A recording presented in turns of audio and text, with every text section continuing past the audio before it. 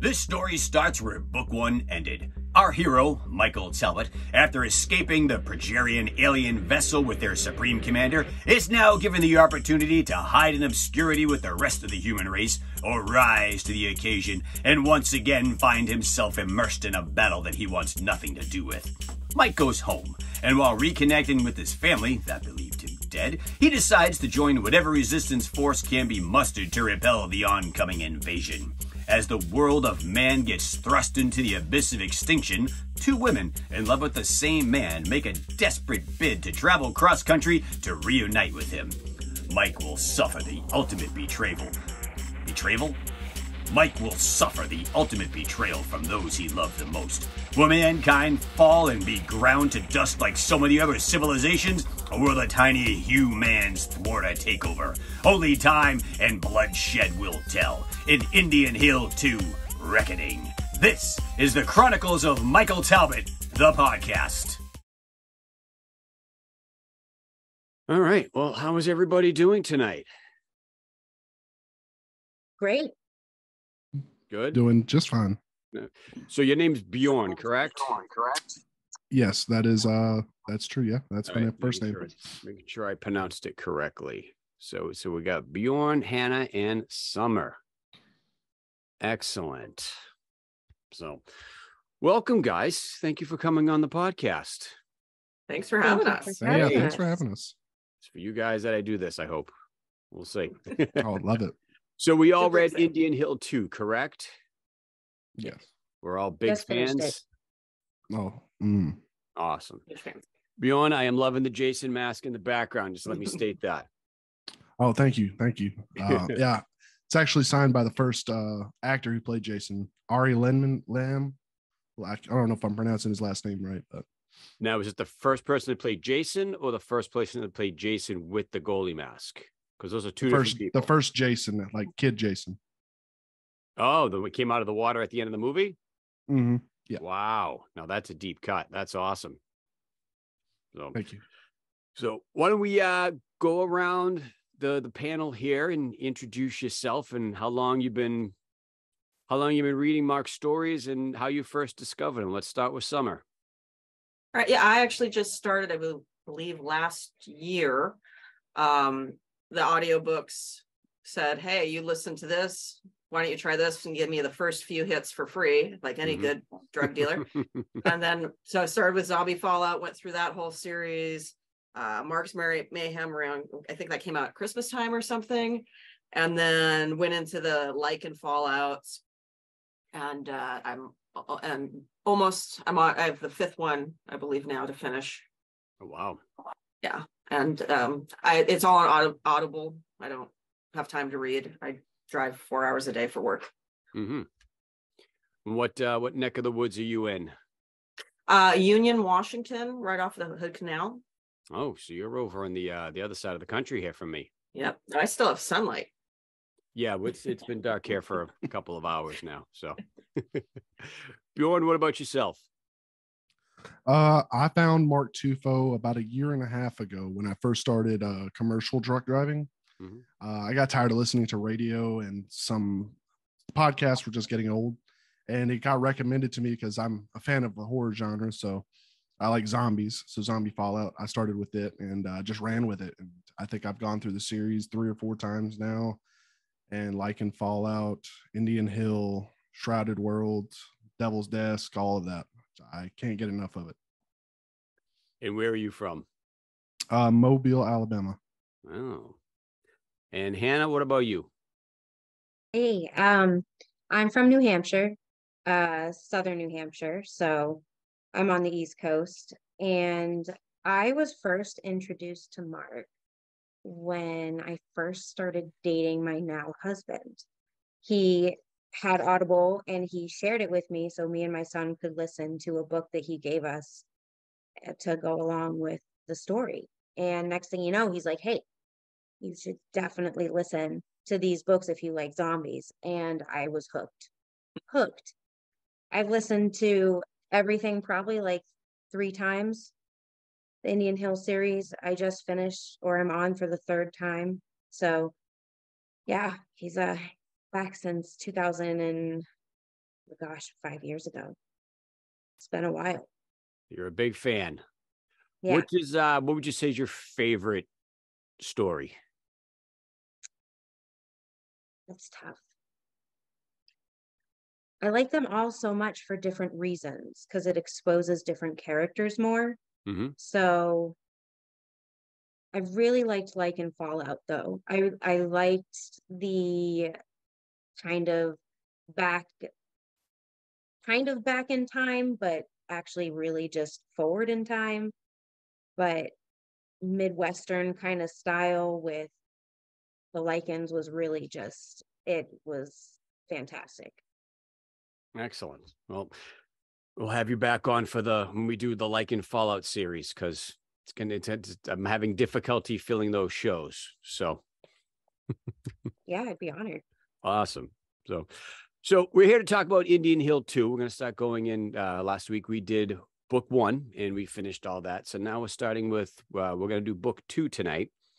So, the book one book two starts where book one ended. Now, when Mark wrote this, he never intended for there to be a second story.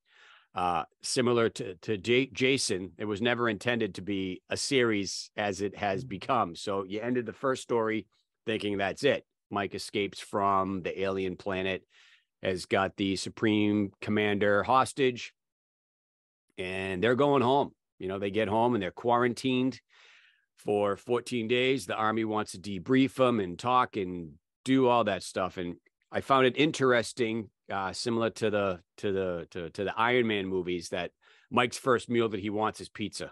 That's all he can die. All, all he wants is pizza.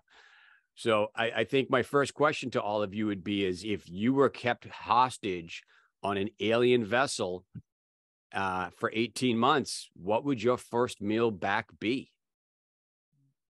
Summer, why don't we start with you? Uh, if I had my choice, I don't know if you all have ever heard of it, but it's uh, it, they're called Indian tacos. It's fry bread with chili. It's basically a taco on this bread you fry. That's just so tasty, ridiculously horrible for you. No wonder why diabetes runs so much in our family. but uh, but yeah, it's just big, sloppy, just uh, food that just makes you feel so good. Mhm. Bjorn, what about you? Oh, well, I'm not sure if it's part of the food group, but uh, and I'm surprised Mike didn't go with it. Uh, beer, I would definitely the biggest keg of beer you could get after being hostage for that long. Yeah, I just want to get sloppy drunk, probably. Just load it up with empty calories. Mhm, That's it. I don't blame you. Hannah, what about you?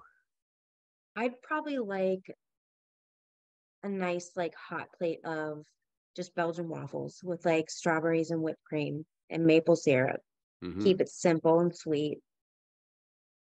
Now, being from southern New Hampshire, would you get that from the Roundabout uh, Cafe? Oh, you've been there? I live in Massachusetts, so whenever we go north, I drive right by there. We stop. bre- The breakfast bowl there is is absolutely the die for. It's awesome. So that's, like That's- one of my that's favorite great. places to go. So I have to say, if you're ever um, you know, down in southern New Hampshire, check out Susie's Diner. What town's that in? Hudson. Okay. So is that They're by great. Hudson? and Which side of Hudson? Is off by the- by like Tyngsboro side, or is it more on the other uh, the Salem side? It's kind of like middle, Okay. middle point. Yeah. I will check that out then. Definitely. Always looking for good Yeah. breakfast places. I love breakfast. It's our favorite food. Whenever we go north, we we try to stop at the roundabout depending upon what time of day it is. But you know, like you know it, it's there's always a line out the door and it's always packed. But Oh, the, yeah. always, the food's always delicious. So Worth it. um, what did you guys like about the story? What drew you to it? Um Hannah, one uh yeah, start with Hannah. All right. Um, honestly, I loved how it started. It was exactly what I needed. Because when you end the first book, you're kind of like on the edge, like, "Wh- well, what's going to happen? You know? And then it just picks up and it gives you all the answers that you need and it's satisfying. So I want to keep going with the storyline and be like, okay, well, what happens with Beth? And, you know, what, what just, there's so many things that came to a head and now are following their own storyline after being on an alien ship. Mm-hmm. Summer. I'm just, I, I, it was great to get that continuance, but then what do you mean you, you, you shot Mike? Wait, what, what happened there? and then so I'm like, you go chapters and chapters of what the fruit is going on. This can't Mhm. be right, you know. Um, and then they pick up, and then actually, you know, I, I I learned to hate Beth down the road, but you actually see her all, finally coming in being a little more stronger character and you know stepping up and protecting Deb. And you're like, okay, maybe this gal is kind of cool. But then you start seeing her start twist, like when she kind of drove off with those guys' arms in the car, you know, and then you're going, okay, wait a minute, she may be getting a little crazy. And then you see uh uh was it Paul who starts doing um some self-reflection of going, is this when I'm becoming a tyrant or is this, you know, so you just started seeing them really it moved just a heck of a lot quicker than the first one, I'd say. I just and then it really just just couldn't get the next to the next one quick enough. Mm-hmm. And what about you, Bjorn? Um, well, coming off of the first book, you know, super excited to get straight into it. Uh, since I haven't been in a book like I just started, I just found Mark Tufo. I binged read it or listened to it. So going into the second one, like like Summer said, Mike got shot and he was pretty much out of the book for three quarters of it. And so the first time I really didn't really enjoy the second one that much until I didn't appreciate it until I listened to it the second or third time. And I think my favorite parts now is watch or listening to Paul and how he goes from this college, uh, I don't want to say jock, but that's pretty much what he was in college, and how he turns into a leader. And like Summer said with Beth, you know, you eventually everybody hates Beth, but seeing her, everybody's transition and how everything melds together into the second one all together makes it a essential part of the series. Mm-hmm. And that's Yeah, I never started to like Beth ever in this in, these books. I mean, from the get go, she was just to me, she was just always that girl, just stringing you along. You know, it wasn't. I- I'm on my third listen to it now for for the the purposes of the show. So, I like I said last week, I listened back at uh, one and a half speed or 1.5 speed to to get the the gist of everything. And some of the best stuff, I just I kind of you know, I, I in Audible, you can skip ahead 30 seconds. I just kind of skip it. I'm like, I, I know this bitch's story. I don't, I don't want to listen to her. She's dicking Mike along. I don't like it. It's, Yeah. I like you.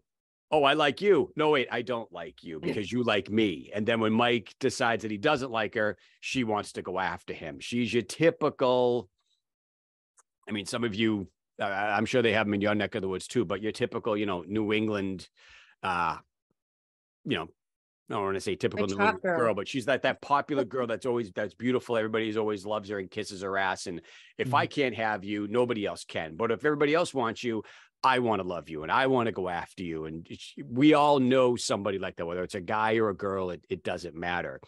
And I think I, I want to find out next conversation I have with Mark, who in his life, who is his Beth?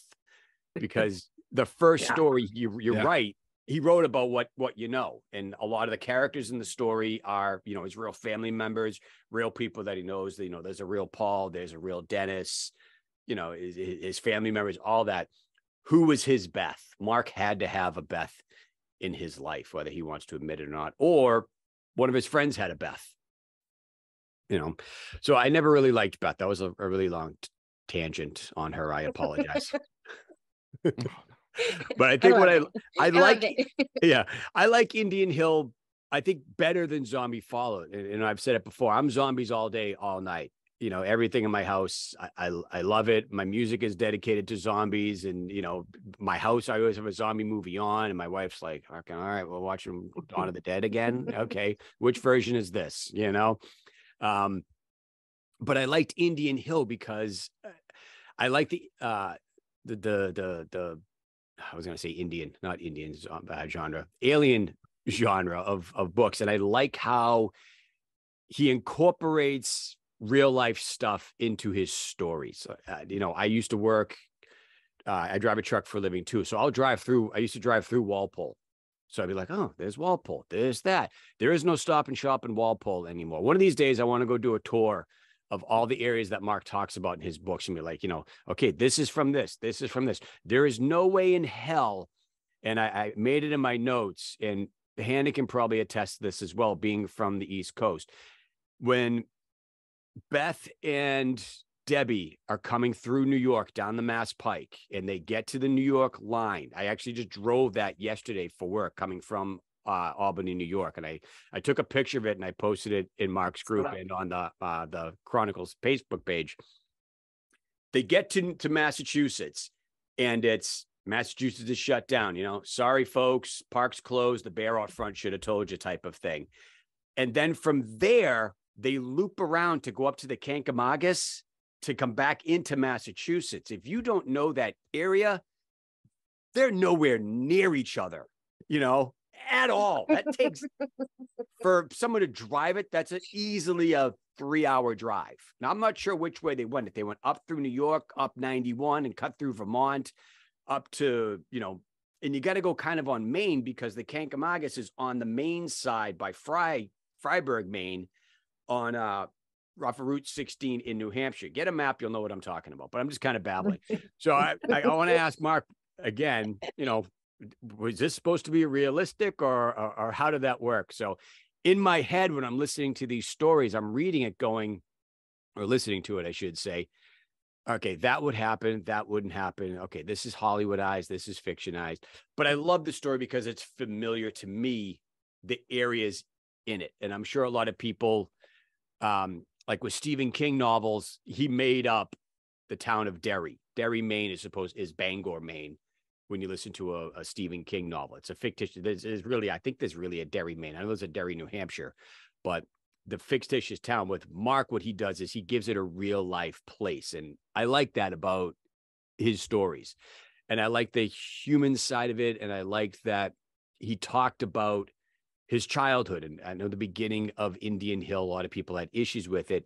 The second book, they just come out swinging, and then all of a sudden, like you know, Hunt, like Summer said, Mike's dead or Mike's gone. You don't know what mm-hmm. happened to Mike. Mike gets shot. And you're like, okay, you just bumped off your main character a quarter of the way through the whole story. What is going on here? So in, in, a, in a long rambling sort of way, that's what I liked about the story. And that's what I like about Indian Hill in that series. Well, I think it's neat. I like. I'm oh, sorry. Go ahead. Go oh, ahead. No,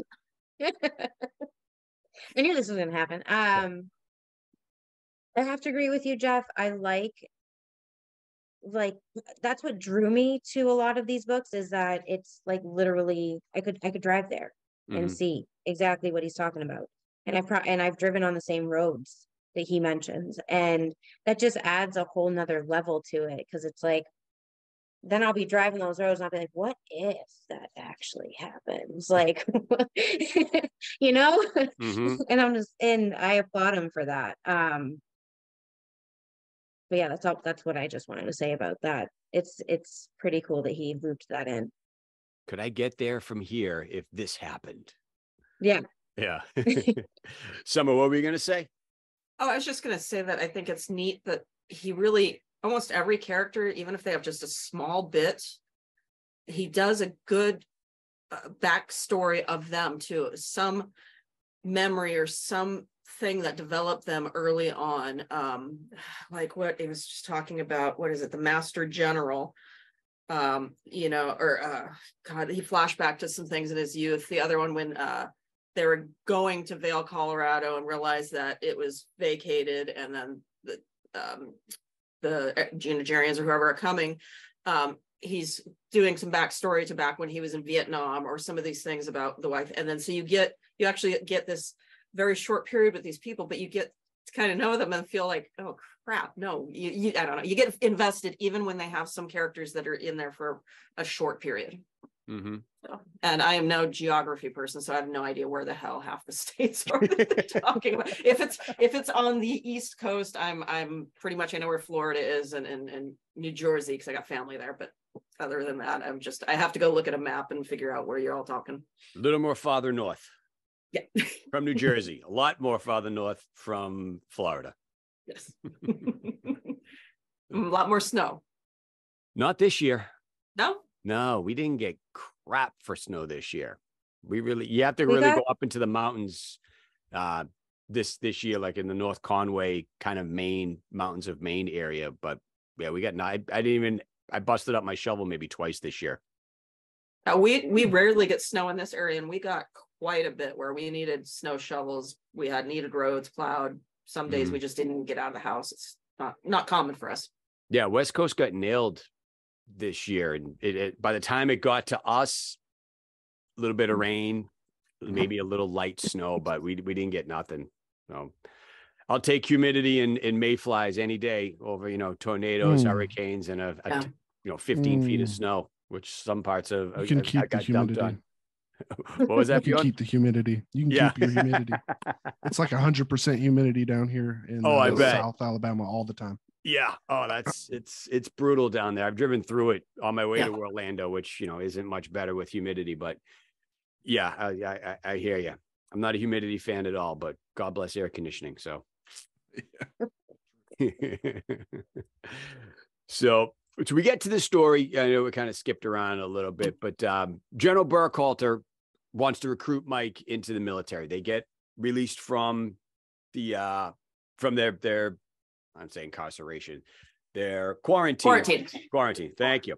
And you know, Mike gets in a, a transport troop, and Beth comes running up to him. I'm sorry, I love you, and blah blah blah, but I need time. Beth always needs time for stuff. Like, do you love him or do you not love him? Like, why do you need so much time to think about this? Yeah, the guy did horrible stuff up on an alien vessel because he was forced to, no matter what.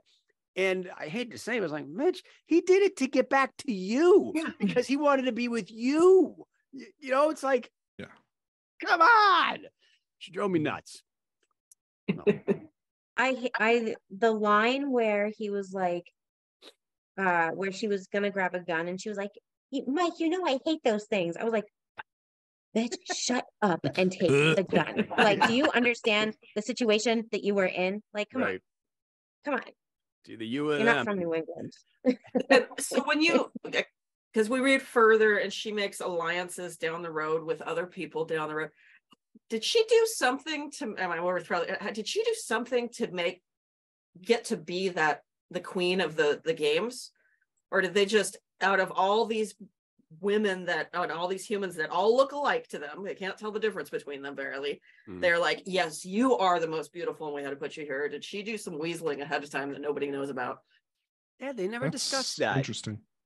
Um, why she became the queen of the games. I'd be interested to know that. Maybe when Mark finally finishes the series and writes a book Yes. eight and continues with it, uh, we'll get to understand why that is. You know, maybe they'll do a, a, a little flashback sequence as to what Beth did or why they chose her as the queen of the games. But for now, it's just a mystery. So we got a uh, another guest on the Oh, show, Hannah. Yeah, my husky. It's coming over to check He's- things out. Yep, yep.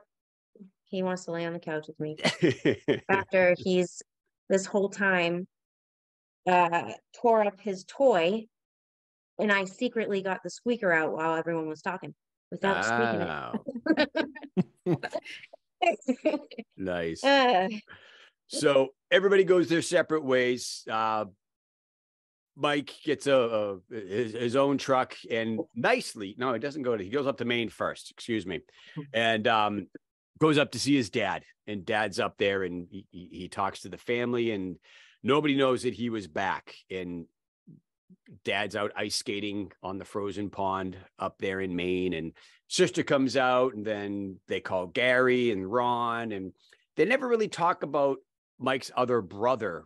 Uh, you talk about him a little bit, but he's not really in any of his stories. Which I, until last week, I, I didn't realize that there were three. Bro- Mike had three brothers and one sister. I didn't know he was one of five. Oh I always thought he was one of four. You're talking about Glenn, right? Yeah, you learn something. yeah. Uh, you know, the, the the the third time around. Because he's uh he died early on in the zombie fallout. I mean, they never mentioned how he or if he's actually dead in the zombie fallout, but maybe he comes Yeah, back 'cause they- in twenty. Yeah, because he's twins with, w- w- not Ron, but Gary, right? Gary, Yeah. And then Gary just, they had just said Gary's never been the same since he passed away. But then in this series, they just I think they mentioned him a little bit about like he helps work with the brothers once in a while, but really Mhm. they gloss Yeah. over him. Yeah, I, I I heard it when they first said it. He's like, you know, that Mike's got that he had three brothers. I'm like, wait, three? I'm like, who's the third brother? I didn't know what that was. So, but either way, and then we find out a lot more about Paul. Paul has changed from the stoner kid in college to full blown semi militia, army, marine, military general. And, and is organizing all these people up there in the, the the the the mountains of Colorado to avenge Mike's death. He doesn't know. He thinks Mike's dead. Nobody knows what happened. We still find out that nobody really knows what happened at Red Rocks. They thought those people were, were killed or vaporized or beamed up and just shot out into space with, you know, the rest of the spacecraft that's up there. They don't know the nobody knows that they were kept hostage and he doesn't know that Mike is back just yet. Um, which was kind of crazy. And I, I thought that the military would, would have a little more information and would, would tell, I mean, Paul's got his plants. He's got General Burkhalter and uh, whoever the, the the plant guy is that he has up there. You thought somebody would have leaked something, but I mean, this is the one time that the, the military was kind of hush hush, and you know, we didn't have a wiki WikiLeaks type of um, spewing or a, a, release of information. Um, so I like that that part about I think the whole thing about the story. So I've, I lost my train of thought about five minutes ago, and I was continuing to talk to try to figure see if I can come back to it. And I just I I totally haven't. So my apologies. so was it was it all those all those games of risk he was playing um after the accident in the first one in the hospital and their nights of Mm. playing risk? Isn't that all about strategy and um, Mhm. Yeah. I never played the game, but I, I have friends who did. Um, there's a long game to play, but Yes. maybe that was that helped plant the seed, and he just felt he owed it to Mike since Mike saved his life, and maybe he was holding on to hopes that he was vapor. So was the band also sucked up? I don't. I thought about that so. He today. never he never touches base on that because there They was said like music up on the thousands ship, of people so- got sucked up. Thousands of people get sucked up, and they just widespread panic. Just I don't know what happened to them. They're just not there anymore. And then I saw somebody's post that, that allegedly they're going to Red Rock, and I'm like, oh crap, is this when it happens? Yeah. So yeah, I don't know if you guys saw that Tempting fate, I'm post from telling you. Mark. He's actually going to a three day concert, Widespread Panic concert at Red Rocks in June. They're playing in June. Wow. So like that's that's life imitating art at its at its finest there, kids. So I have been Instagramming them every day whenever they post about the Red Rocks thing that they need to follow the book, the Read Indian Hill One, because when I interviewed Mark and had him on the show, I asked him, "Does the band know about?" You know your story. Do you do they know that you wrote this book about them and that you're such a huge fan? He's like, I thought I got it into someone's their manager's hands, but I'm not mm. Quite sure. Mark's very humble about this stuff. I'm like, well, I'm going to spam the shit out of him, and somebody's going to know, and somebody's going to find out because that's what social media is all about. That they're going to know that this dude here is a huge fan of theirs. He wrote a book. We're at their concert at Red Rocks. That half of the population got sucked up and started a whole alien invasion thing at this concert venue that these guys are actually playing at, which is just it's kind of crazy. I know Red Rocks is a huge destination, but somebody must know something in their camp, and they decided that that would be a cool thing to do. So he's hoping to get in on the on the meet and greet uh, with the three. Are you investigating it personally? You're gonna find out Yes, who I am. is. That's my mission. I have Yes. I have Yes. nothing better to do with my time, so I'm, I'm on the case. So- Uh, Uh, I asked this the past couple of times that we had it, but if you were at a concert and it was your, you know, desert island concert band where it's it was the last concert you're ever going to see because you're going to get sucked up into space, which would that be? And which concert would it be that Scotty beam me the hell out of here? This this concert's absolutely horrible. Which concert would it be? Nobody wants to go first. I uh, I'll, I'll I'll go ahead and go first. Um, one that I would just want to be out of there, just get me out, get me the hell out right now. Would be uh any type of new new style country music. Uh, the hick hop. That's that's what we call it down here. Uh, a lot of us still listen to the old school country music, Mhm. and uh, my my wife loves the new style country music. I cannot stand it. Um, that one, yeah, get me the heck out of here for sure. Okay, Hannah, what about you? Um, mine would it, makes me sound so old when I say it, but like the, the new rap music that comes out, I just am like, I don't even know what they're saying. And then I'm like, wow, I sound like my parents, you know? Um, but yeah, I just just don't want to be there. Like bring me back to old school rap, hip hop, not not this new stuff. 90s hip hop, you can't beat it in my eyes. Nope, can't beat it. Yep. Summer, what about you? Yeah, the beam me out, I gotta cre- uh, agree with Hannah. You know, we've got some proper twenty acres in off grid, uh, kind of close to Canada over on the eastern side. And all we have is a, a radio that co- connects with Canadian stations. And on Sunday morning, it went to church station, nothing against church, but we switched channels and the only other channel was this hip hop, rappy, bubblegum. Oh my God, make it stop. Is it So- Canadian hip hop or I it is crap. Um, no, I, I don't want to say the names of the artists. There, there are also American artists that I've heard. Uh, it's just I cannot change it quick enough. they're not listening to this? Don't worry about it. You can say it. I was like your your Nicki Minaj's, your. uh, I just I I can't stand it. It's over and I, ugh. I don't I'll know. Yeah, and I sound like an old person. Yeah, I'm not a uh I, I- can't even remember her name. The the new big one. She's got a value meal at McDonald's right now. Lizzie, Lizzo. No, not Lizzo. The the other the other one. That it's similar to a Nicki Minaj.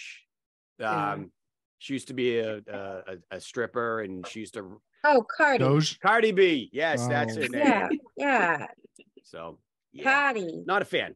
Not a fan. That's just me. So Yeah. sorry. Yeah, I, yeah, so I'd want to get the hell Yeah. out of there pretty quick if you know I was ever on a first date and they're like, "Oh, we're going to a Cardi B concert." I'd be like, ah.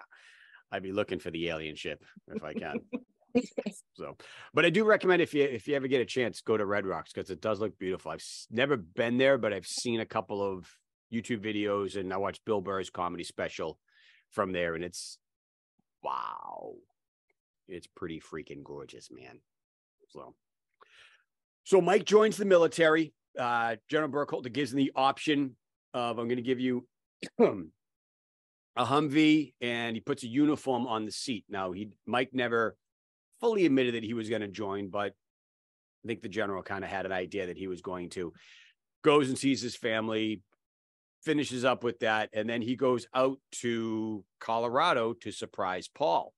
And he has that moment where Mike sees Paul for the first time and the um, goes up there and the, the guys are giving him crap all about everything and you know it's the it's the typical i'm going to walk in harrison ford style with my indiana jones hat on and you know you, you do the face reveal and paul basically shits himself kind of and is ready to pass out because he sees his friend that is responsible for this whole thing that he's doing his whole way of life his whole way of changing because mike saved his life Mike wouldn't, Paul wouldn't be there if it wasn't for Mike because of what happened in the car accident uh, back in the day when they were kids after the Cheech and Chong uh, drive-in marathon where they just got so stoned and they fell asleep and, and hit a tree. Mike saves Paul's life, and Paul does all of this to to help Mike and to honor Mike, and it's Camp Talbot. He does all of this, and then he ends up shooting Mike on day two that Mike is there. And that's when the story for me, I sat back and I said, uh, did he lose his mind? What is going on? Why did he do this? Why did Mark just kill off his main character, or did he kill him off, or what happened? They never said shot and killed, they just said shot, but you don't know what he was shot with until chapter 14, 15. I I didn't write that down in my notes what chapter it was, but you find out he's in France. Shh, don't tell anybody. That's where we send all of our people that we don't like anymore. we go to France. But uh, what did you guys think about all? What, what was your first initial thoughts? Because mine in my head was, you know, basically what I just said. I was like, "What? Darth Vader is Luke Skywalker's father?" um, is all right if I go first? You already are. I don't want to lose. right I don't want to lose my train of thought. All right.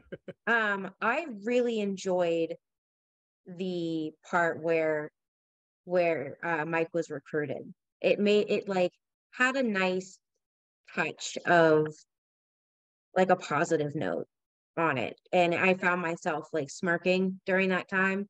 And then when he was introduced to his family, like I found myself almost coming to tears when his father came up to him. I thought it was great. It was fantastic. Um and the and the character development in Paul, I thought um they he did a great job with that. Very interesting. You never really know what you're gonna get. And think watching watching Paul kind of go crazy was something I didn't see coming the obviously the first time I read it. Um, but then the second and third time, I start noticing that he did just say he shot him, but he didn't say with what. And then slowly after I heard it say with a tranquilizer when he was in France, I think he mentioned that. So Yeah. I was like, oh, okay. So, but I didn't catch that the first time around. Um, but Paul's slip into this new version of him, it hooks me. It really does because you get to like see how he thinks as he's going down that path. Paranoid, basically. Yeah. Bjorn, what about you? Mm, the first part of that, the recruiting phase of it, was nice. Um, but there's a big but. If I was Mike, I'd take it as a form of disrespect that I was only given captain. Uh, being, you know, military. Um, and after, you know, Mike going through everything that he went through, you know, going through the games, fighting his way off the ship, kidnapping the supreme commander, and giving the government all that information. I'd want something a little higher than captain personally hmm if I was going to get recruited. But that's the only gripe I have with it. You know, I think he did a lot more than he's getting credit for. Um, and I'm sure Mike would agree with me. Uh, but going off of that, Paul, I wanted I, I wanted to smack him a couple times when I was re-listening to it because it was irritating how many times he would use past tense. And then even with Dennis, he would, you know, he Dennis was like, "We're best friends," or Ron, that he just wouldn't say that Mike was still alive. hmm I get the build up though. I get it. It's just irritating that he kept using past tense and trying to feed that Mike had died or was trying to play that. Uh, but yeah, um, I'm gonna be honest. I forgot the question, but To be honest, I think I rant for a forgot what it was too. Uh, Summer, what about you? Uh, yeah, the same thing. It's just, you know, I don't know why he couldn't just tell them what happened. I, I don't know what risk that would have been to say, oh yeah, we found out, you know, he ends up coming clean later, but I just, I don't know why that had to be so closely guarded. So yeah, that was like annoying and frustrating. Again, what do you, what do you mean you shot him? Um, how, how dare you? don't you know who we're talking about? Yeah. um and then just i with all of it it's just it's it, it's so funny it, because he it's such a there's so much sarcasm or cynicism in in uh, so when they were like oh we want you as military i'm like do you because he's never been really good about you know um that structure or authority but then to Jordan's comment, maybe that's why they were like captain. He's not necessarily going to be responsible for people, and he's only reporting this one guy. And we, so maybe that's why, you know, I, I'm not sure. And maybe is Mike not that familiar with what military uh, levels are, and may not have known that was a high rank or Yeah. not a high enough rank. I found it interesting, and I didn't pick up on this until the third go around, that Mike's quarantined and examined by all of the the doctors and stuff back at the quarantine base with General Burkhalter, but you don't nobody discovered that he had foreign objects in his body, maybe because they were organic substances behind his eye, in his ear, and one in his, I think it was his spine where the tracking device was.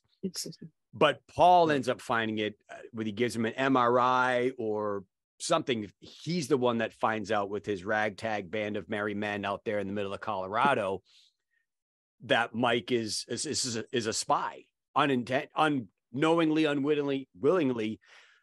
Mike's a spy for the for the enemy, for the aliens. But the greatest military in the world with all of our technology, they didn't figure that out after having him there for 14 days, doing all their tests and doing everything. Paul finds out after day day one of Mike being there. You know, the, the, is Paul a better general or a better leader or a better planner than General Burkhalter or our entire military down at the Pentagon? Who knows? But he's got my vote. Yeah. Yeah, I remember. Maybe yeah, I was wondering how thought they of it. didn't catch him. I'm sorry, something. What were you saying? Oh, I just Maybe it was just The other summer. I was just that was the same thing. Is how did the military not when they were doing through all this? They're saying scientists. So uh, were they didn't they- they not have medical personnel there to be checking them? Yeah. Um, yeah, that was just really um, not that the federal government or has ever made mistakes in processes. So, I Never. mean, Ever make a mistake. not Everything is top notch. They just continue to do a great job. and never go with the lowest bidder for contract services. So Ever. They get the most qualified people that are going to do the best job, no matter what the cost. Absolutely. Pay the big bucks. Yep. Pay the big bucks. Hannah, what were you going to say? Um when they came down like like you said they were scientists like maybe they just i don't know didn't think that he would have been implanted like they i it depends on the story that or what mike told them and at the time they didn't know until he was briefed They wouldn't So, think I to, don't know. to look for something like that. yeah plus But it's like that point- organic so But you- i'm sorry you can go No, I'm just saying, eh, but Hannah, to your point, you're right, because um. the organic portion of it, because, but you know, he had to have told them about the go-go juice they kept pumping him and everybody through. So you'd think that. They would have gone, oh, what else did they put into these people so that they could rebound as quickly or? You know, so Did he get the go the go-go juice before what before he came down or was it the second time he went up? I thought because between fights, they because remember the people were dying and they didn't want the fighters dying.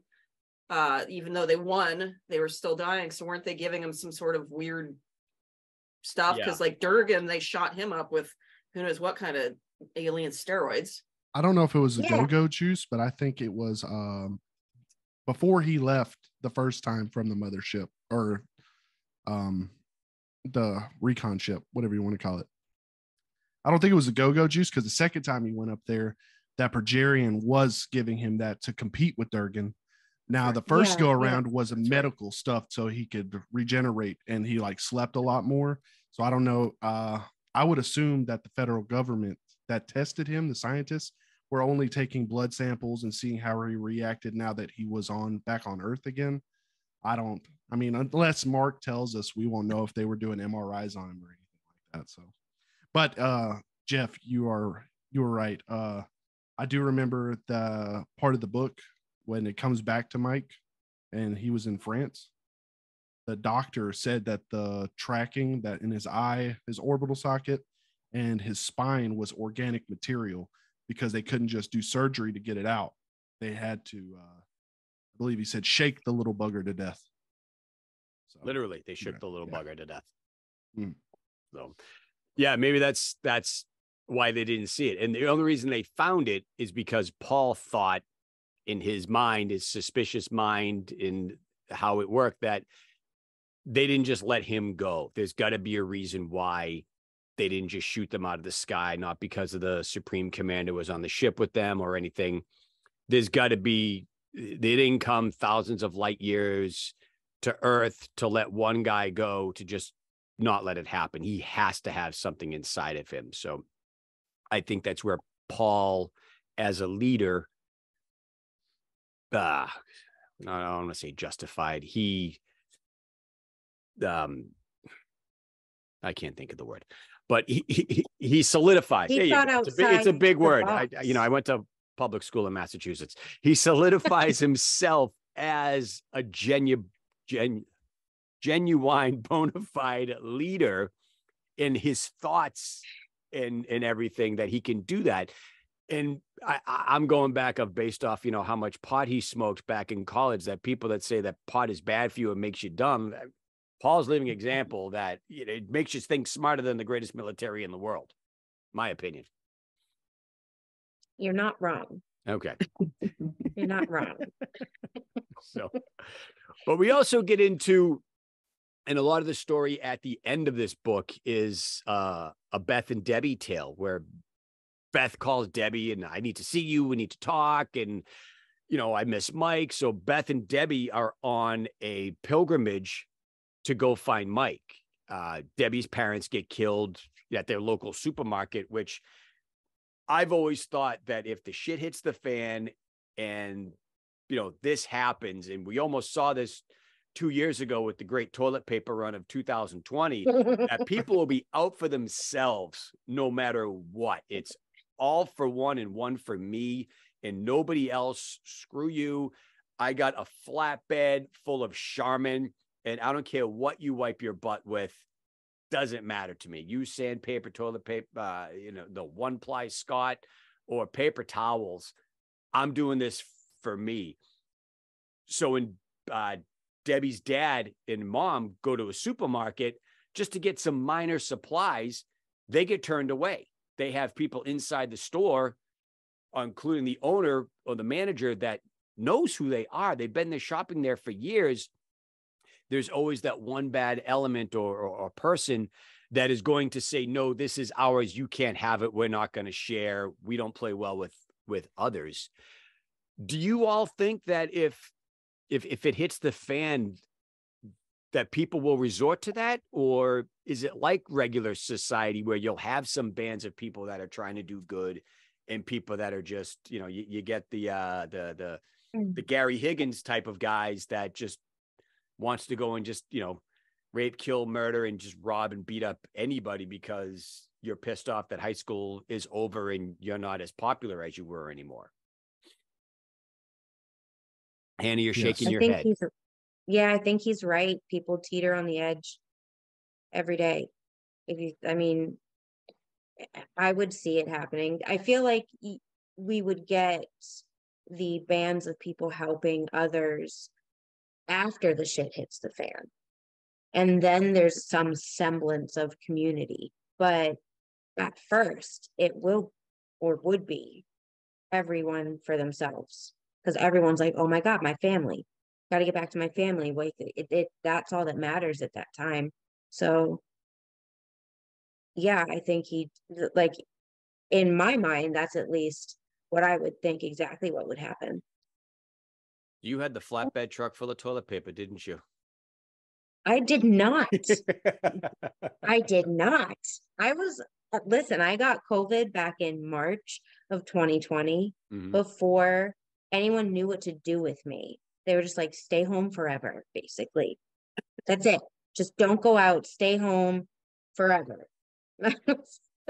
Don't talk to anybody. Don't breathe on anybody. no, Put this mask on your face and don't go anywhere. Yeah.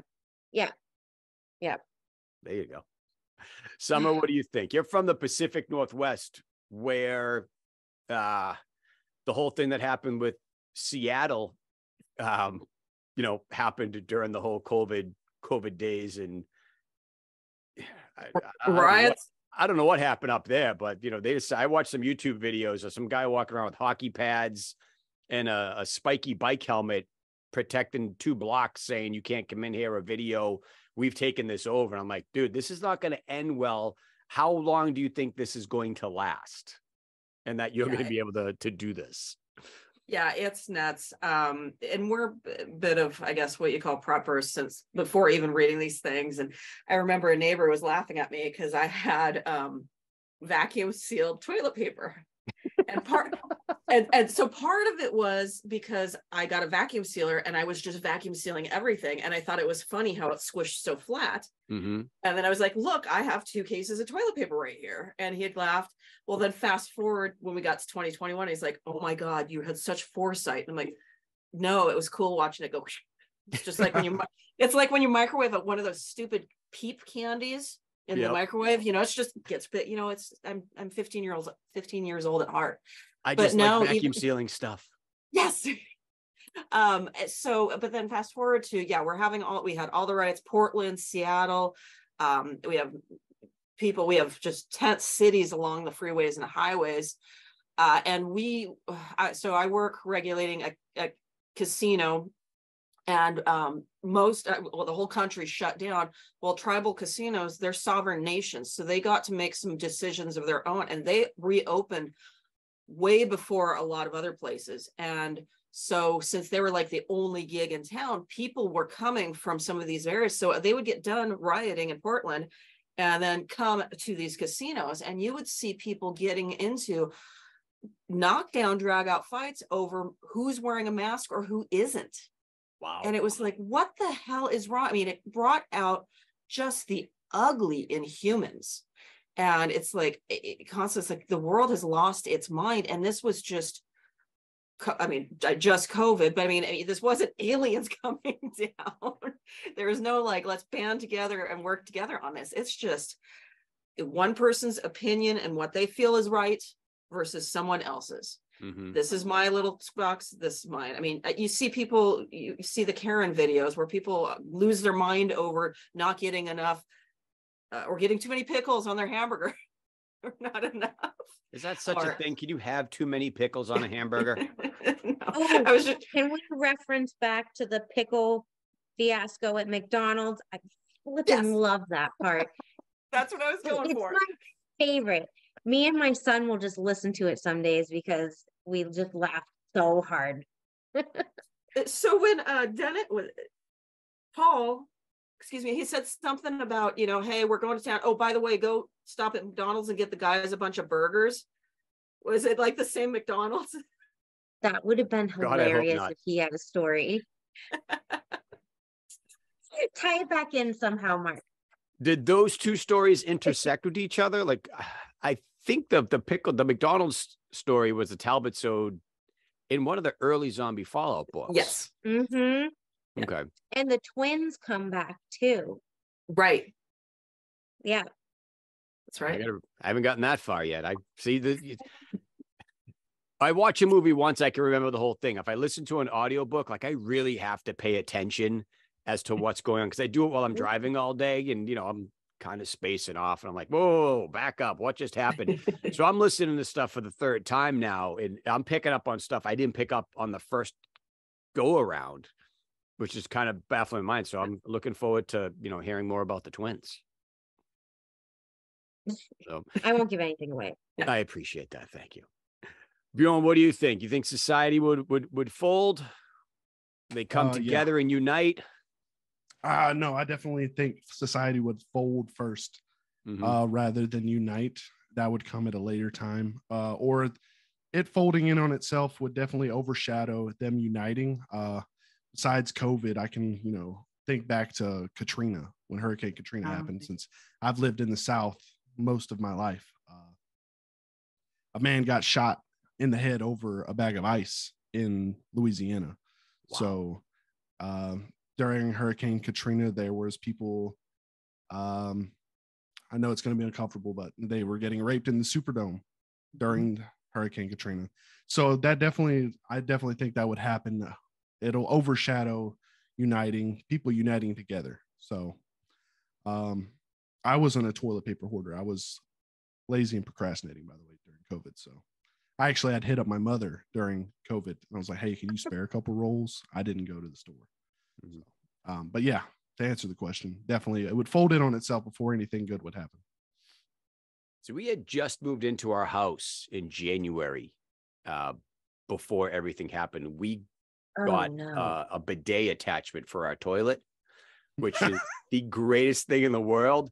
So we went through like no toilet paper at barely any at all. And it, I mean, me and my wife were kind of health freaks. We eat super clean. So I mean, I don't want to brag or anything, but I'm like a two wipe Charlie, and it's you know, I'm like an animal out in nature. You know, it's it's, it's nice. Okay, so we don't go through a lot of toilet paper in our household. So when mm. we saw people at the BJ's, you know, or the Walmart just with carriages, I'm like, really? Do you, this, it's not the blizzard of 78, you know, and- and I don't know, Hannah, how old you are, if you remember that. But every snowstorm we get up here now in New England, they compare it to the blizzard of 78, where we got like five feet of snow dumped in a brief amount of time. And it was unexpected. There were cars abandoned on the highway and everything like that. So every time it snows, everybody rushes to the store. They buy milk, they buy bread, they buy and now Eggs. toilet paper. So yeah, and eggs. And it's like you're not going to be stuck in for days. You know, everybody thought when COVID hit that we were going to be stuck in the house and there's going to be supply chains and they weren't going to make toilet paper and they weren't going to make this. So everybody was just stocking up. And but maybe you never know that.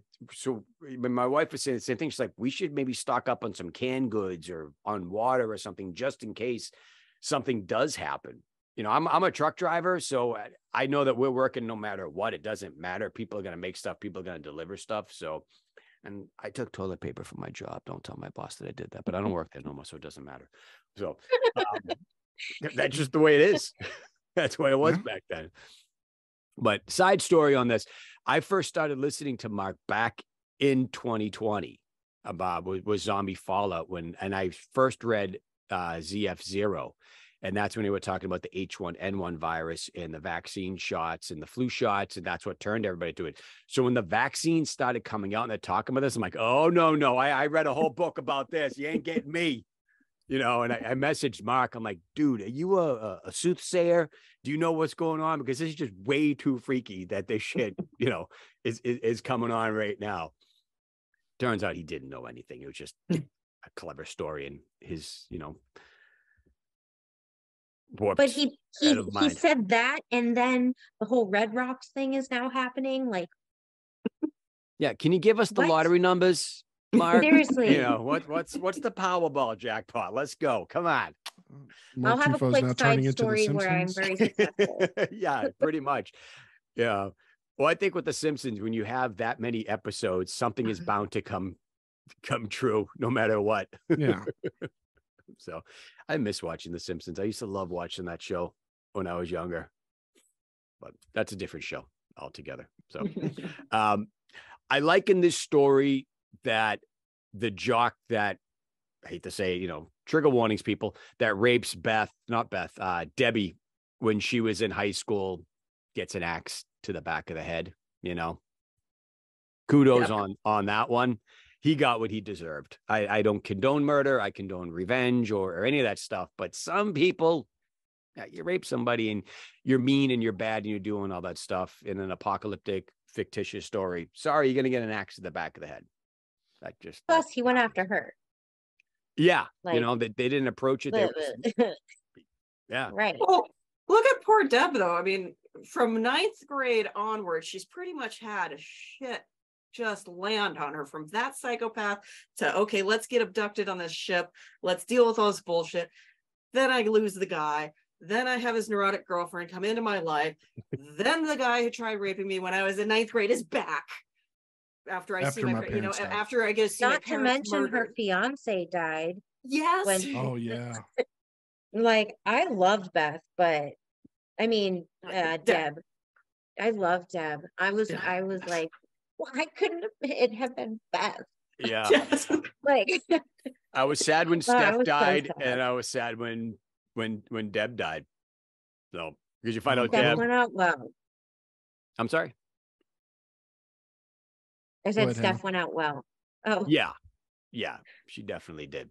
So Yeah, because yeah. um, I mean, Deb gets shot by the National Guardsman, like we talked about earlier, coming in from New York when um, and just the one rogue National Guardsman just Oh, what there's was his something name? about him that he just wanted to to to to save them, to protect them and Sergeant these Bolito. two girls. Yeah, Sergeant Polito. He just takes it upon himself. And again, he falls in love with Beth. What is it about her that is just driving men crazy that he basically endangers his he, he leaves his troop, uh, his command post. He's got a wife in in kid or kids, and he's running around with Beth, and she's like, Mike, Mike, Mike. I don't get it. I never understood that. I never understood. Me neither. Spe- no, I don't know. Must be a pheromone thing. Probably. She's got to be doing something right. So, Uh, side note, real quick, while we are talking about Deb, Mm. Beth, and Gary Higgins, uh, I just I got to know from Mark's perspective here, or not perspective. What was if it was a brain fart? Because I had to I re-listened to it three times today. I had to replay it back on Audible, where uh Deb or one of the two, I think it was Deb, saw Gary about to come. They just kicked through the door, and she sees him about to come through her front door. She describes it as Michael Myers stalking, like on Friday the thirteenth. yeah. I want to know if that was a brain fart or what happened with that. How did uh because because Michael Myers isn't in Friday the 13th. So I was just curious. I thought that thought that too, but maybe that was Beth or Deb not relating the two stories, or maybe Mark just doesn't know horror movies and the editor didn't pick up on that or or whatever. So I had that happen in a trivia pursuit question once. We they were doing the uh it was an 80s edition. And the question was, what color is Freddy Krueger's sweater? Mm. And as everybody knows, like good Americans, we know that Freddy Krueger has a dirty red and green sweater. Well, the answer on the trivia pursuit question was red and black. And I got it wrong. And I contested it to my friends, and they all said I was crazy. And, you know, it was high school, so they didn't care. But it's little things like that in books. It's like, you know, okay, Michael Myers wasn't in Friday the 13th. That would have been pretty cool to see a, you know, a, a Mhm. Michael versus Jason because the Freddy versus Jason movie just don't get me started on that one. It was horrible. Uh, just, you know, would have been so much better. But it's the whole how do they get into Massachusetts from the New York border on the Mass Pike up to the Kancamagus Highway? Who knows? They just do. So, oh, and- with enough stuff that's coming true, maybe they are doing a Friday the Thirteenth with Michael Myers. They seem to be bringing all these these these childhood memories back and crossover stories. So it would be it would be quite interesting to see. But yes, good point, Bjorn. Thank you. I had that in I have that in my notes uh, as I'm scrolling through. I had that point in there as well. I hadn't gotten to it, so that's perfect. Was there anything else that anybody picked up like that that was a little different, or is that the only little flub? I'm going to take that as a no. Yeah. That was it. All right. so, um, so we find out that Mike's alive. He's in Paris. He's at the Bastille. He thinks it's the prison, but it's the prison hospital, the Bastille hospital. They're on all kinds of tests on him. They're trying to get him back to normal. He's kind of seeing visions of Paul, some places shooting him, Progerians and things like that. And then we find out that the Progerians get themselves back in order and they're coming down and they're going to start they're proving paul right because the places that mike was at that gets attacked. They yes go ahead summer. So did they, because there was one really short snippet between the chapters where there's like these two guys and he opens the box and the guy goes, shut the box. And he's like, well, I'm sick of this spy stuff. And he's like, well, it could contain plutonium. And they said whatever their coordinates were. And then it cuts straight away to the Progerians of go, we just got a signal. It lasted for 10 seconds. What's in the box? Was that like the things they removed from Mike? What what was that? Because then afterwards, that's where they start doing the attack on on Paris or France. I thought. Anybody remember that? I do it was like They- yeah. b4 2 or something like that that they they opened it was a, a one page uh page chapter it was very brief Yeah, and they get the signal, and then they're going to do the thing, and I'm just like, well, wait, wait, where is this? PB and J 147 or whatever it was. And I just it's like what was in the box? What signaled it? So that's where I got. Yeah, they got their Brad Pitt and Seven moment. What's in the box? Come on.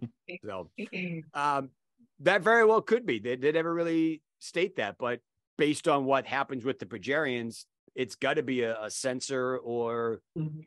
a remote, or is it just coinciding with with Mike coming out of the Yeah. Bastille or or whatever? But whatever it is, we find out that they know where something is and they go and they Yeah. attack it, and they f- destroy all of the military installations. They destroy all the major cities.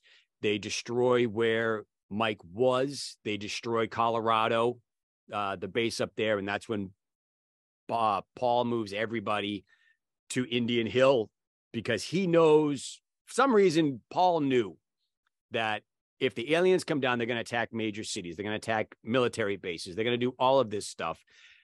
So he they- they're fortifying Indian Hill into this underground bunker that is off the reservation, so to speak, that that isn't on the map, isn't a military installation, that they're not going to think, okay, this is a secret military base with a, a ragtag band of merry men.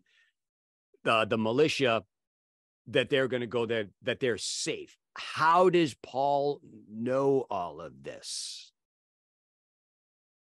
He had smart weed in college, is my assumption on that one. I don't know. But Did he He did- also do this? yeah, Yeah. Those those don't those open the mind to broaden those bigger thoughts. yeah.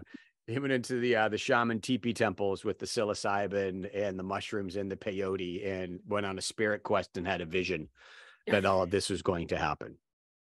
So, but they do find Mike and they start destroying Paris. And some people will say good, and some people will be sad by that.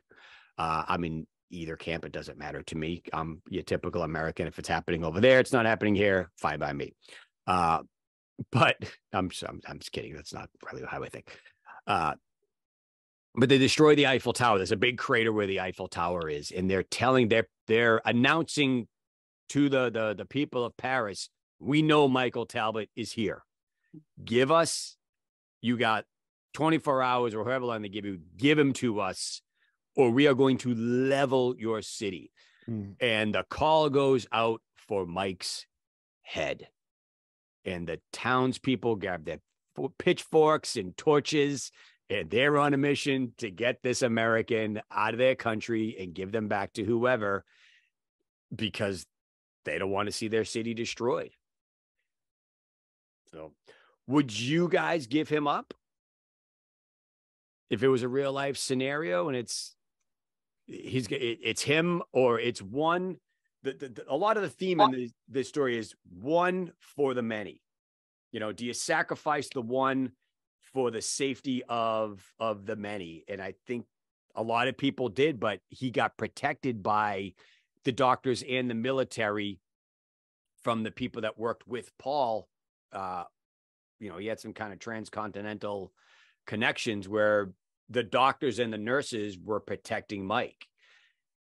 Um i i don't know personally if i would do something like that. I've, I've never been in that situation where i've had to do that so i probably would but who knows Uh, i hope never to be put in that situation- situation sorry bjorn i just had to get that last part out. No, no, no, you're fine. Um, in a realistic situation, I'm pretty sure any one of us would turn Mike over, especially since you know they refer to him as Earth Champion and he's already killed all these people and Gino Gino Gerians and everything. He can handle his own. I mean, it's Mike fucking Talbot. I mean, He's He'll got it. be all right. Uh, Get him there. But uh, me knowing what I know now in that situation, I'd be like, nah, that's that's the homie. I'm a ride or die with Mike Talbot.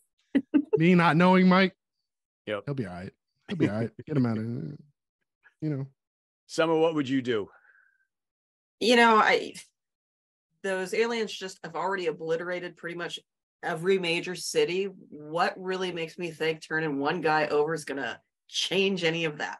Yeah. I would have I would have already been out of those cities at whatever remained at that point and tried to get as far away from something I would think as possible. I'd like to think I wouldn't turn somebody over, but you know, roles reversed. It's just this French guy that's over here. We don't even know. He's not even of our our country. You know, who knows if you know those alliances hold true when it's outside of your your country. I mean, you go back to um, September 11th. All of a sudden, everybody was pro-American, who was America, and was very much screw the rest of the world. We got to protect us.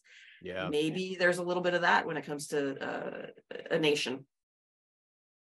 Could be. Hannah, what about you?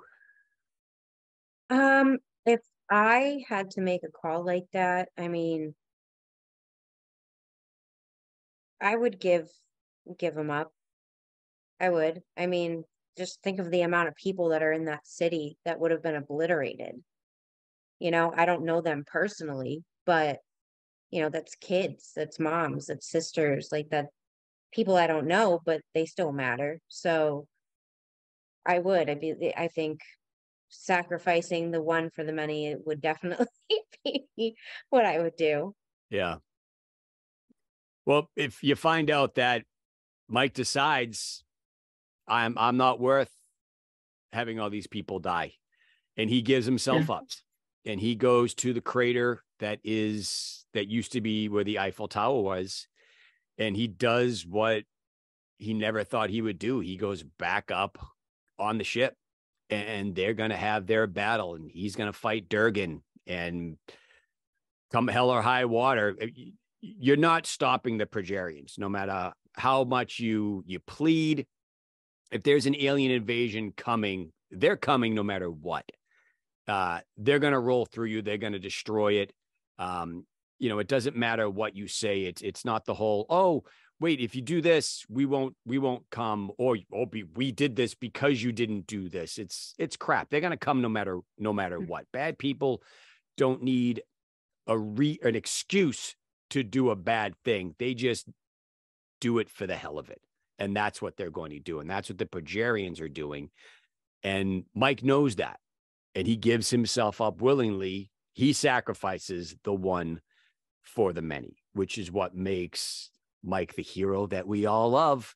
Uh, so he goes back up to the ship to fight Durgan to do their one last battle. And similar to the the military people in book one, where they fly the nuclear uh the the the the, the ship with the nuke onto the the the the mothership, they have no reservations about or thinking that they're going to come out of this alive and they sacrifice themselves to try to help out and that's what that's what Mike's doing and I I think you know I applaud him I think he's an honorable character for that I think there would be real people that would act like that that would do that for uh for humanity. I know I would do something like that for my family. I mean, there's certain family members I probably wouldn't do it for, but for the most part, I got some family that I would do that for. And they broadcast it live, pay-per-view, coast to coast, free, you know, fight night. Earth champion Michael Talbot versus, or the, he's not even the Earth champion yet because he hasn't fought Durgan. Durgan's still from Earth. Hmm. Uh, who's it gonna be? But um, he fights a one-legged Durgan because Durgan's leg got shot off or vaporized, however you, you want to do it, at the end of book one when Mike escaped. But he's got a bionic leg on him now, and he is, you know, like we've said, he is pumped up with uh, the alien go-go juice. You know, he's been eating his Wheaties and taking his vitamins and drinking his creatine protein shakes, and it's it's fight night. You know, it's it's Kong versus Godzilla, and they're up there and they're gonna they're gonna battle. Um, were any of you voting for Durgan at any point? Thinking let's let's let's go for the underdog, maybe. No. All right, good. Um, I think So we're think all that's- happy to see that asshole die. I'm going to be honest. yeah, Yeah. Yes. yeah, I was not uh, in either book. I was happy to see, the- you know, either story. I was happy to see to see Durgan die. I think it's great, and it it it sets the scene for the third book that when Mike beats Durgan, uh, spoilers, there nobody applauds. There's total silence in the arena, and the only person Yeah. or or being that applauds is, and I'm going to pronounce the name correctly as Mark originally wrote it and heard it in his head, was Drababan. Um, not sure if you heard the episode where Drababin, that was how Sean translated it, and Mark never corrected him, but his name originally, Mark in his head had it as Drababan. And he's the only I one that didn't that. Yeah. Uh, he talked about it in the first episode uh, that we did.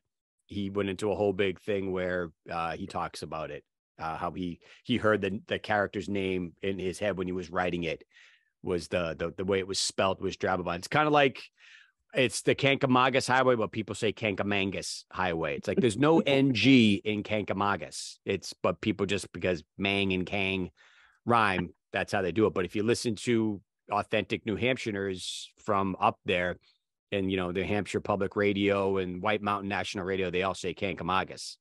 So it's Yep. Drababan, kids, not Drababin. But Sean, we still love you. You still can do no wrong in our eyes. You just that one, you know, teensy little thing you messed up on, buddy. Sorry. So um I'm I'm happy the way the book ends. It it still doesn't end with a this is there's going to be a, a book three because it's just Mike wins, Drababin applauds, roll the credits. What did you guys all think about the ending? How it how it ended? Did you think there was going to be a book three? I mean, if you were reading it in chronological order, I mean, if, if it's in your audible queue, you knew there was a book three, mm-hmm. but you were wondering how it was going to end. Were you were you happy with that ending? Summer, you look deep in thought up there. Let's start with you. I well, I, I I feel terrible for people who were reading the books as they came out, because then you I know that if at that ending I'd be like, wait, ne- wait, now what? Wait, wait, you know. But I got to jump into three. I'm glad it ended that way, but it was sort of a okay, what's next? And it did definitely leave me. I need to read the next. I need to hear the next one.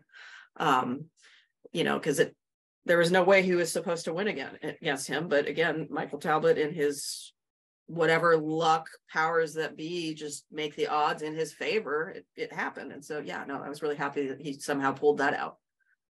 Yeah, Mike is the quintessential definition of having a horseshoe up your ass. You know, Yeah. he's a, he's a very lucky man. Yeah. So, Bjorn, what do you think? Oh, the ending of book two. If I had uh, to listen or read it as it was coming out, I probably wouldn't have been too, you know, I'd, I've been excited, but like on the edge of my seat, you know, ready for uh Drababan to fight Mike, uh, what was going to happen with that. Um, but luckily, you know, I found Mark after that was all out. So Mhm. definitely just as soon as it was over, I was racing on my phone trying to get it started on the next book. Just ready, come on.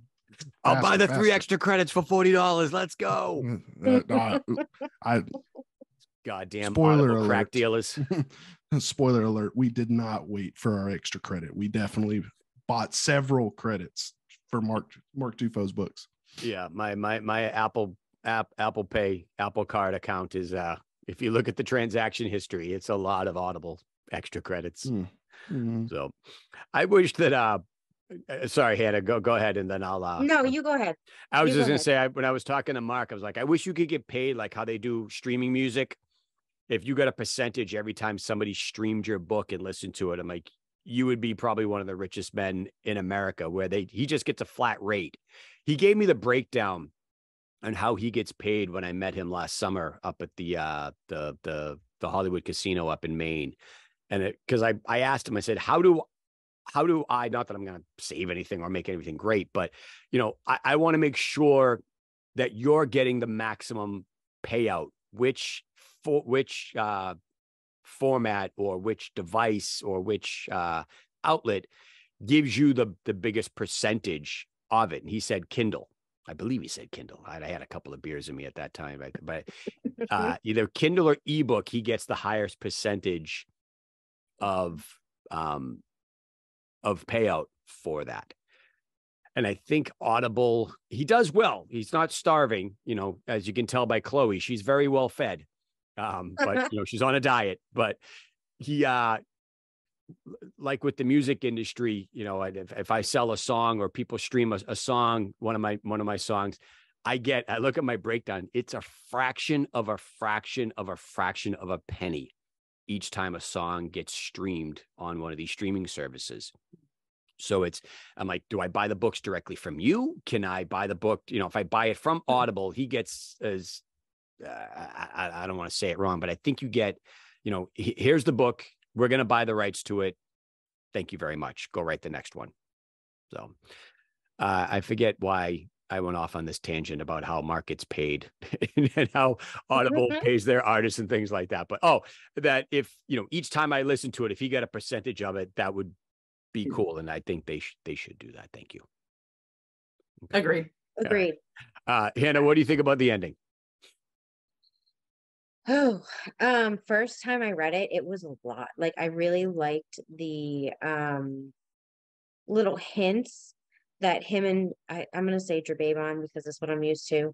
Um that like they're gonna have a little something more than hatred for e- for each other, mm-hmm. kind of like camaraderie. I thought that was a that was a nice touch. So it def that I was like um character development yeah, like they had that conversation where they coming. became friends. Yeah, sorry, yeah, I skipped over yeah. that part. That while they're up on the ship, Drababon, oh, Drababon, fuck, I'm saying it wrong now. Uh, befriends Mike before the fight with Durgan, and you know, it's it's you you're rooting for Mike to win, but then at the same time, like, oh crap, you got to fight your friend. You know, you, you become friends with this alien being that is bred and and, and its its sole purpose is to kill you in these games, and they mm. parade him around. And when Mike talks to the the the the whoever the guy was that was betting all the stuff that gave him the tour of the ship, he asked what happens if what happens if I win? It's you're just going to continue to do this to on other worlds. You're going to be our champion, and we're just going to, you know, you're our bitch. We're gonna, you're our slave. Mm-hmm. You're our gladiator. You know, you're you're you're Maximus the Great. We're just going to continue to play in the games with you. And, you know, he has his his gladiator moment, you know, where he's like, Are you not entertained? Is this what you want? And, you know, he's killing people. That's basically what they're going to have him do for the rest of his life. Is is that a life that you would want to do? If it meant living, but you have to continue just killing people and, and being a slave, would you want to do that? I think I'd get sick of it after a while. My my opinion. That's just me. No, yeah, I definitely feel like if any one of us said yes, I would like to do that. It kind of relate to Durgan at that point. yeah. But no, I couldn't do that the rest of my life. No. Just no. fighting and killing and being somebody's slave. No. couldn't do it. That's and I'm sure that's why though. he like you know, yeah. you know, like because if he didn't, choose to keep going, there never would have been a story. So he has to be that character where, of course, he's going to choose to keep going. But in real life, if we were in his shoes and didn't have like family ties, really, like he didn't have kids at the time or um, anything like that. So it, you know, I, I wouldn't have kept going if I had to just keep killing people over and over and over again. And I had someone tell me that, I'd be like, gosh, I don't want to do that. Yeah. But of course, that's his character. Mm-hmm. And once he once he was no longer fighting kind of protect all the girls, and now he's fighting Durgan because you that one you would want to continue because he's just an a hole that needs to get what's going. You know, if, if there's a chance I could take him out, yes, I need to. But then after that, it's like, okay, this is I I don't have skin in this game at all. I'm just your play toy for entertainment and there's just no yeah yeah, either the other person kills me or you kill me because I won't participate because it's just done now at this point. Yeah. No. Uh, final thoughts while we wrap them things up. Um, anybody have any, or is there something that we didn't touch base on that you were like, I'm going to mention this and I really want to talk about this? Floor is yours. I just want another Indian Hill book. Everybody does. Mark, did you hear that? More Indian Hill. Continue the story. I might be reaching here. Um, I, I do want another Indian Hill book. So, uh, but, and I might be the only person who likes this character from uh, Zombie Fallout. But if you know, you could somehow work Miss Deneau into Indian Hill, somehow because I I despise that woman, but I love that she's like Negan for Zombie Fallout, Yeah. and she's only in Zombie Fallout. Mhm. So you know, if that could be worked in somehow, you know, that would make it so it, it just bring it to another level. We find out she's Beth's mother. Oh my god. Oh, that'd be great. I thought it would have been hella humorous if Deneau was a spoil for Mike and ends up in the house with him or the apartment with him on the alien Oh. ship. She would be a gladiator in the games. But it's a like, young There's no way. It's a young You're right. Deneau, you know? Oh, Not a spoiled spoil. Yeah. She's a spoil, not spoiled. Mm, yeah. Past her prime, long past her prime. Uh, yeah, I still can't get that image of uh, Deneau in book 16 out of my head at all. Some of you know what I'm talking about. Some of you don't, but most remind me. uh, where the nuclear bomb's going off and she's master. Oh, that one. That one. Yeah, no. No, I don't. en- No, no. Oh, When I had third third time through it, I just skip it. Yeah. Just- 30 second just- pound, 30 second advance, 30 second advance. You can't make me. No, not at all. I think I actually had blocked that out of my mind until you brought it back up. I forgot. Sorry to bring like, up such wait, a painful memory. There's two pe- two kind of people in this world: people who love M- Miss Deneau and people who lie about loving Miss Deneau. Because you gotta, I mean, she's just a crazy character that adds a twist to it at every turn. I just, Mhm. uh, Yes. um, she's not my favorite, but she's up there. She's definitely up there in all of you know, all of it all. So, I think she is a one of the all-time great literary villains. mm. yes, So, yes. but that is a story for another time. Hmm. See, if this was a movie, this would have ended right now, and the credits would have rolled. Yeah, but it's yeah, not. yeah. So, uh, so Hannah, Bjorn, and Summer, thank you guys so much for coming on and and and, and talking with me about these books. I have no one to talk to about these, which is why I started this podcast. I'm like, I need to share these, share my thoughts in my head about these stories. I need to convey my message about how you can't get from the Pike uh, in New York to the Marcus Highway and somebody know what the hell I'm talking about. So, and I'm glad Hannah's from New Hampshire, so she knows exactly what I'm talking about. so I appreciate that. Thank you very much. Um, anything else before we go? You guys have you guys are great. Uh, I really I really enjoy talking to you and hope that you will come on uh, with me again on another series or you know still got openings for future Indian Hill uh, books. I think this was the last one that I had fully booked. There's some space for books three through is it there's seven Indian Hills, right? Is it six or seven? I don't know up until the finale. Uh, so those are all booked. Uh, uh, aren't booked. Those books aren't booked. I should say. say that five times fast. Uh, so if you guys want to come back on, we'd love to have you and, and hear your thoughts on that. So, but um, but thank you very much. I really I really appreciate it, and it was great speaking with you all. Thank you. And thanks for doing this. It's Hey. really awesome. No problem. agreed, So, agreed. Thank you. I'll definitely be back if if you'll have me. Oh Definitely. yeah, definitely. Definitely. If you guys haven't already, please like the Facebook page, The Chronicles of Michael Talbot, the podcast. It's where I add updates uh, about the show. This week's show, um, I mean, if you're watching it now, you, it's already out.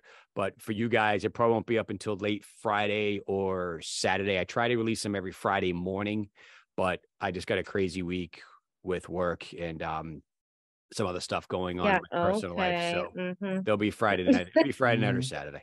So Oh yeah, last Friday I was definitely looking at my watch at work, like Jeff, where the hell is this episode? It's Friday, it's lunch already. Dude. What's going on? I know your eyes are all waiting on bated breath, and uh, you know it's it's it's crucial to your life. But you will be surprised. Like there's some of the shows that the podcasts that I listen to that religiously. I know first thing in the morning when I leave for work, I put the podcast on, and I'm like, where the hell is it? My morning is shot. You have messed up my routine. If this episode, the new episode or whatever, is not out on that, and I, you know, not to say I hope somebody feels that way, but I hope the show will be that popular someday that people are like, "Where's the new episode?" you got the jitters and shakes. So that's my little my little spiel. Yep. So thank you guys all so much. You have been wonderful. Uh, Summer, go enjoy those last few minutes of sunlight while you can, and uh, everybody, you guys have a good night. Thank you very much. Thank Night, you. everybody. you. Thanks. Bye.